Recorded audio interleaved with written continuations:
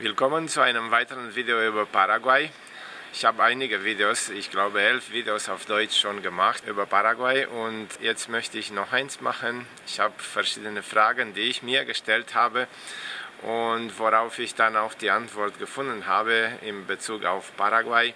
Zum Beispiel vergleiche ich Teneriffa mit Paraguay, ist äh, ähnliches Klima, also subtropikal. Und ich habe gesehen, dass die Mangobäume hier nicht höher als 2-3 Meter wachsen. Und bei uns auf dem Grundstück, aber nicht nur bei uns, auch auf der Straße, man findet Mangobäume auch auf dem Bürgersteig, die nicht im Hof der Personen äh, stehen, sondern auf dem Bürgersteig habe ich einige Mangobäume gesehen. Und ich schätze sie auf 10, 12 Meter, also drei, vier Mal höher wachsen die Mangobäume in Paraguay im Vergleich zu denen von Teneriffa. Ich habe mich gefragt und habe eine Antwort gefunden. Es hängt mit der Erde zusammen, also wie fruchtbar die Erde ist, aber auch ähm, mit der Quantität von Regen. Also in Paraguay regnet es viel mehr als auf Teneriffa und der Regen ist Segen. Andere sagten, naja, sie werden gekürzt, damit sie nicht wachsen. Ich habe mit Menschen gesprochen, die einen Mangobaum aus Venezuela gebracht haben. Hier ist es schon seit 30 Jahren, die haben es mir gezeigt. Ich habe da ein Klavier gestimmt und die hatten es im Hof und es war nicht höher, also auch zweieinhalb Meter höchstens, also nicht höher als das. Das ist also eine der Fragen, die ich mir gestellt habe und worauf ich eine Antwort gefunden habe. Und unser Hauptgrund, warum wir äh, dorthin ziehen, ist, weil wir auf dem Land wohnen wollen und hauptsächlich uns aus der Erde ernähren wollen. Also wir essen sehr viel Obst und Gemüse und äh, das ist einer der Hauptgründe, warum wir dahin ziehen. Gestern hat mich ein Mann äh, kontaktiert, der auch von Teneriffa nach Paraguay umzieht. Er ist jetzt auf der Zwischenstation in Panama.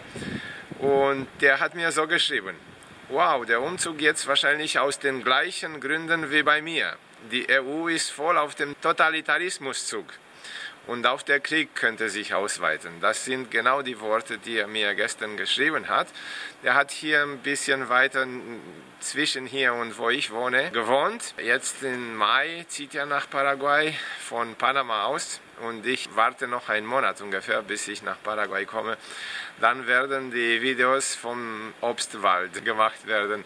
Hier ist es auch sehr schön, kann man nichts sagen, aber in Europa werden schlimme Zeiten erwartet. Ich habe verschiedene Nachrichten gelesen, zum Beispiel uncutnews.ch oder sowas. Es gibt Kanäle, wo man sehr viele Nachrichten bekommt, die nicht in den Nachrichten vom Fernsehen oder von den Zeitungen stehen. Im Internet findet man vieles, was nicht so vertrieben wird. Die meisten Leute bekommen es nicht mit, aber es wird noch schlimmer kommen. Das ist auch der Grund, warum wir umziehen, weil es auch in Europa und nicht nur Europa schlimmere Zeiten kommen werden. Also Paraguay ist weiter zurück, auch mit diesem 5G. Ja, also bis 2024 habe ich äh, gelesen, wird 5G äh, nicht installiert. Also wir haben noch zwei Jahre Ruhe dort von diesem 5G. Es hat auch positive Seiten, kann man nicht bestreiten, aber es hat auch viel Negative. Für uns Menschen sind die Strahlen zu stark. 5G ist auch nicht sehr gut für uns. Bevor ich dieses Video beende, möchte ich dann noch äh, eine Nachricht bringen, die ich gestern äh, gesehen habe. Und zwar, das ist ein kurzes Video, wo man zeigt, wie die Panzer per Zug über Polen in die Ukraine gebracht werden. Ich lese mal kurz daraus. Es steht hier so, akute Kriegsgefahr. Außenministerin Baerbock kündigte in vergangenen Tagen an, schwere Wachen an das Regime in Kiew liefern zu wollen, ohne darauf konkret einzugehen.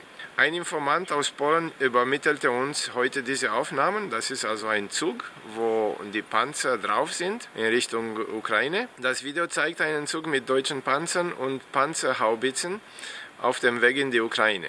Unsere russischen Kontakte warnen, sollte dieses Kriegsgerät tatsächlich dort ankommen, wird die russische Regierung Deutschland als Kombattanten, sprich als Kriegsteilnehmer betrachten. Die meisten schauen mal dahin mit dem Krieg und was daraus werden könnte. Und ich schätze, dass wir in Paraguay davon bewahrt werden. Ich meine, so weit wird es nicht kommen. Außerdem, Paraguay ist so ein Land, das ist ja fast vergessen. Ich schätze, dass wir da in Paraguay viel besser aufbewahrt werden von solchen Nachrichten, die nicht angenehm sind. Das war's jetzt für dieses Video. Ich wünsche allen äh, die beste Entscheidung für diejenigen, die nach Paraguay kommen wollen. Also ich werde bald Videos von dort machen. Dann gebe ich mir Einzelheiten direkt von vor Ort. Bis dahin alles Gute und ich wünsche allen die beste Entscheidung in Bezug auf wohin für diejenigen, die auswandern wollen. Ich bitte auch um ein Abo, wer mehrere Videos von mir sehen will. Ich mache gerne Videos und werde immer mehr Videos machen. Deshalb danke ich auch für das Abonnent